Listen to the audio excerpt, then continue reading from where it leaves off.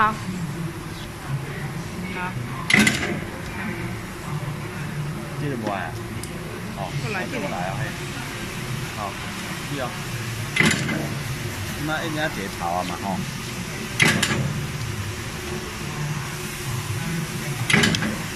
Học. Wow.